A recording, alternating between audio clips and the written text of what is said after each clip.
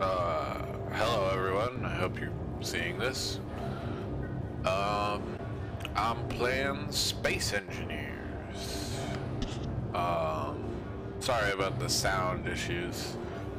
Uh, but this game is now running, aside from, from the sound issues, this game is running, uh, pretty flawlessly now.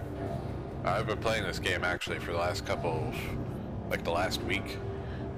Um, but I've been playing it before today, which uh, was it October 10th or something. It looks like it, or the 11th. Um, and I was playing with really not great frame rate. Um, it was. Uh, it was not... It was playable for me, but I wouldn't consider it playable for anyone else at that point.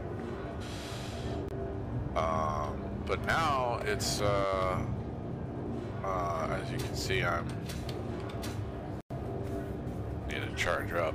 I'm, uh, I started a zero start game uh, in space.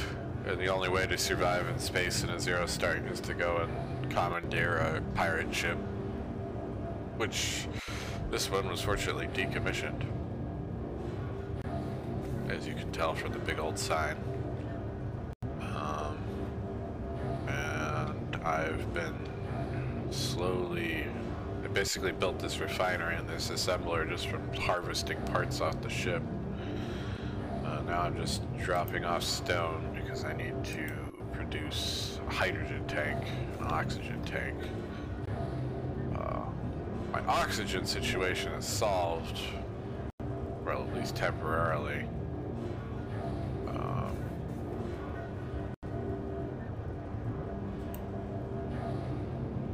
yeah, I can come into this room and these are some oxygen tanks right here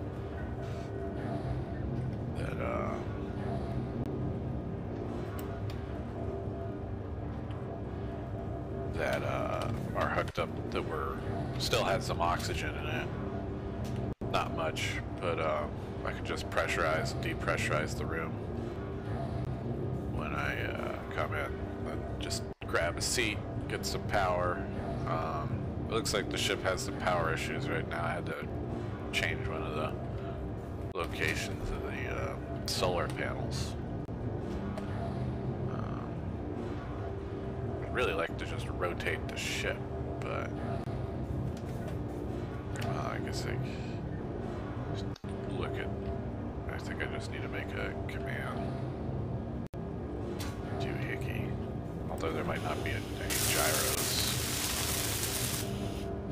Ugh, my hydrogen's getting getting low.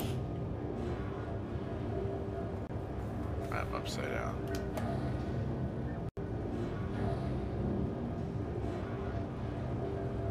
Rotate without propulsion.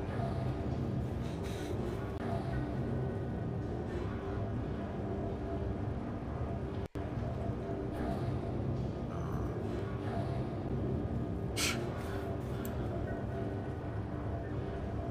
I'm still missing something.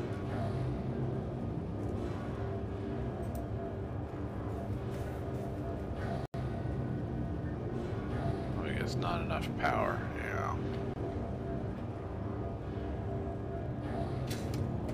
Issue is not that the assembler doesn't work. The issue is that the sun is in a different direction.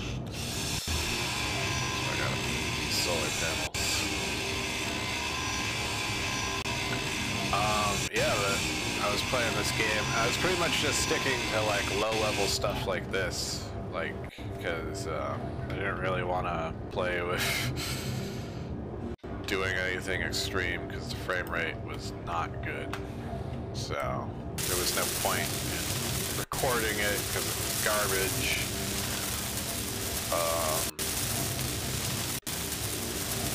pretty much unplayable. I wouldn't say it was unplayable by anyone else's standards. It was unplayable, but I'm a person who has played Deus Ex Invisible War at like 14 frames a second. I mean, uh, yeah, 14 frames a second.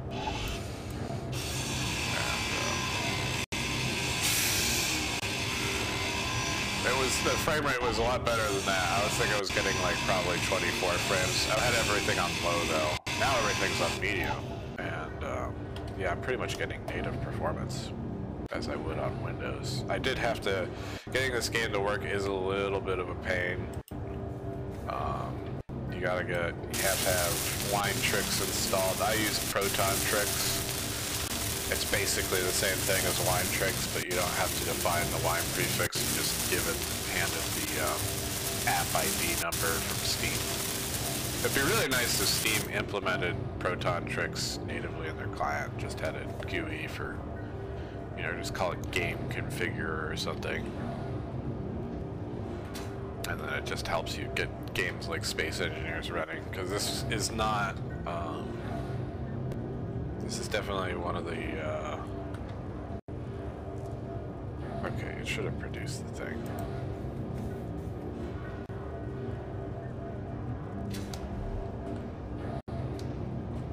I got three solar panels. Man, what's eating my power?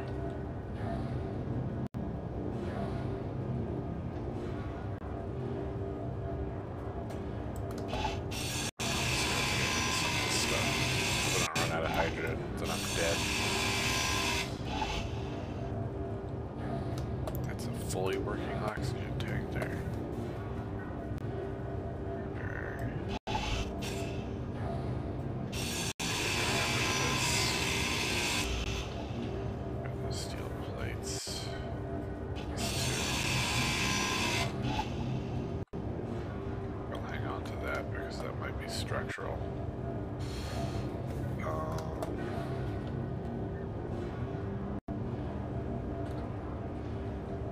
these things shouldn't be taking up that much power. What's eating my power?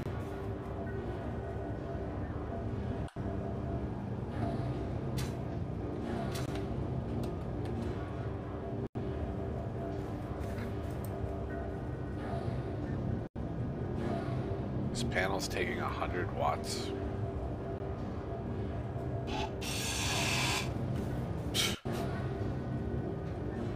It's an extreme amount of power.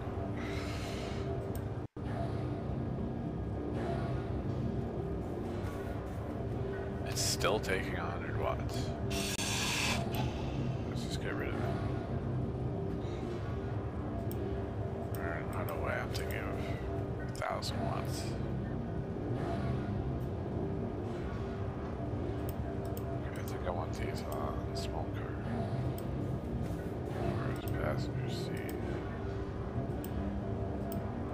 Got solar panels, they're giving us power.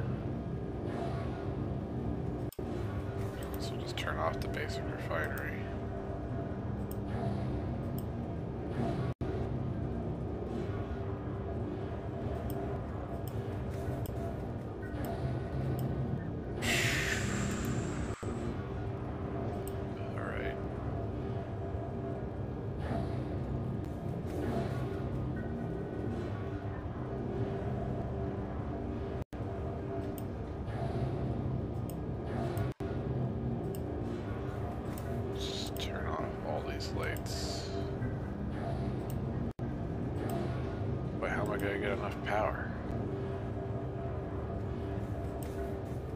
Could hook up a hydrogen generator.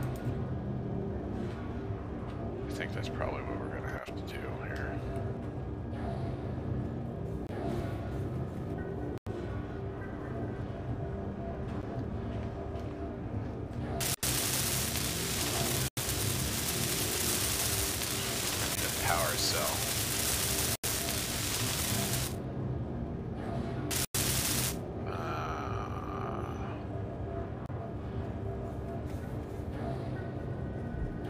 Nice that there was a hydrogen generator already out here. There's no way I could get power cells from the batteries, they just turn into scrap.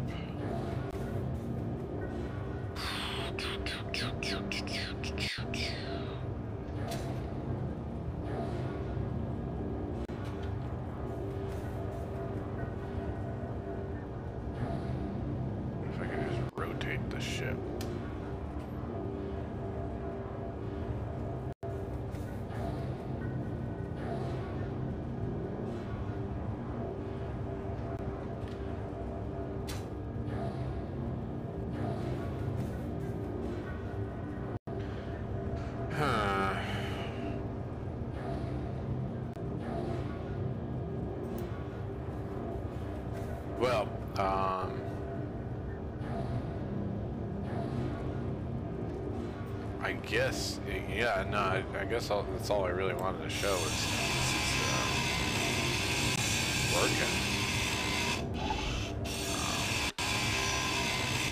pretty, uh, pretty uh, impressive.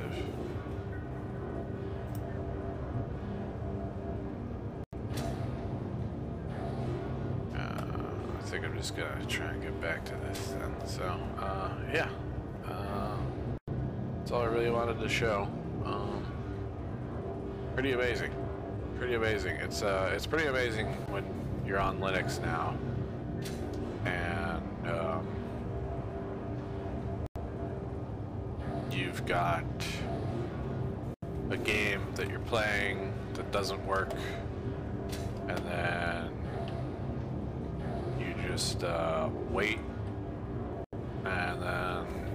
couple months down the line, someone figures out how to make it work. Uh, that's really what the experience on Linux is like right now. It's just the amount of games that continue to be improved, thanks primarily to Valve, um, but a lot of hard work from the open source community, for sure. Um,